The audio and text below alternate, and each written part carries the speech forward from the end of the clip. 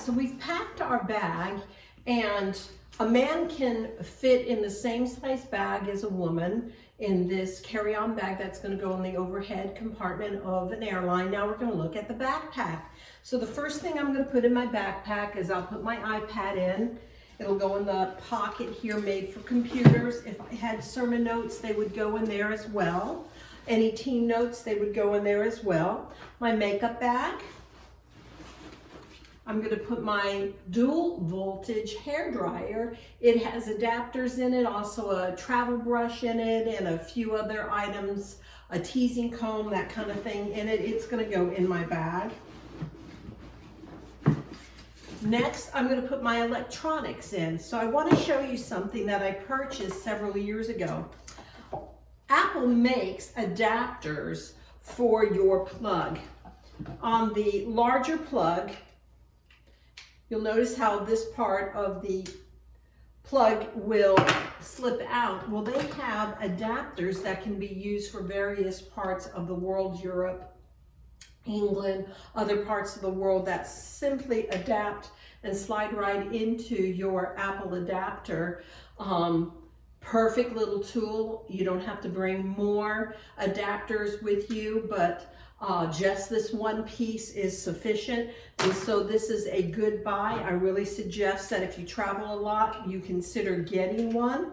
So I would put whatever adapters that I'm going to take on my trip into my electronic uh, bag. I also have a rechargeable battery for my phone or iPad in here, some wipes to clean the screen, of my electronics. My earplugs are in here, an extra pen's in here, and a travel flashlight is in here. That's gonna go into my larger pocket of my backpack. I'm gonna put it in some sunglasses. I have my passport. It's gonna go in the front pocket where I can easily have accessibility to it. I have a change of clothes because when you're traveling overseas, sometimes you're, you've got two different stops. You go to one point in Europe before you go on to the next place of your destination. So it's always good to have a change of shirt, um, undergarments, socks, deodorant that you can get to. I take with me a little travel folding backpack. It's not as large as this, but when you're walking around the streets like in Malia, my water bottle can go in here. If there's any tools that we're using that we're giving out on the street, anything that needs to be carried, this is a great little backpack, folds up. It can go in here. I take a extra pair of eyeglasses because if I was to break mine, I cannot read a thing. Wipes, again, for my electronic screens. They go in here. There's a place for a pen. I have another accessory bag. Let me show you what I have here. It has soap in it, but I keep travel washcloths because I have found that in most places of the world, they do not provide washcloths when you're in hotels. I do not know why. It seems to be a Western thing. And so I'll take some travel washcloths. These are the kinds that you get at the dollar store for kids. I can leave them behind. They're small. They can just get dropped into a suitcase, dropped into a backpack, very easy. Don't take a lot of room. There are other choices that you can use for a washcloth. These little pill washcloths open up to about oh, maybe a foot long and eight inches, six inches wide. They're good to be used a couple of times and then they get thrown out. These can be purchased at a sporting goods store. You could probably go online at Amazon and also find these. The third choice of a washcloth that's easy to travel with and can be washed by hand and hung and dried is a linen washcloth. Those are three types of washcloths that I have traveled with. I'm gonna put my toothbrush in here because I wanna be able to get to it. This travel bag is gonna go right here. I have a water bottle that I can fill up at the airport, take with me.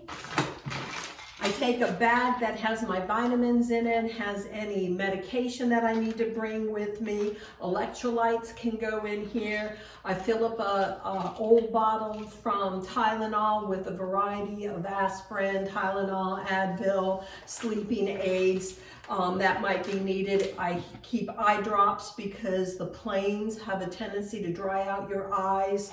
Um, so there's something to lubricate my eyes.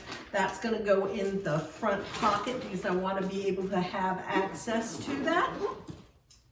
Lastly, because I'm gonna be in two climates, I want to show you a coat that I purchased. I love this coat, it travels well.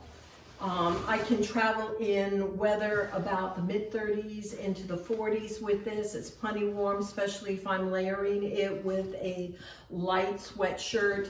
Plenty, plenty warm. I've been in cold climates using it. I also keep a scarf with me so that both in a culture like Malia where, or, or Morocco where I might need to cover my head because it would be appropriate in a um, Orthodox or strict Muslim area. I have a head covering and also for warmth. And then this simply rolls up just like you would roll up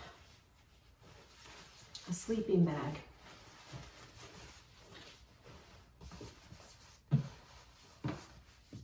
And this will go in my backpack. It also can serve as a pillow when I'm flying because it's soft and cushy and good support for the neck. That's gonna go in my backpack.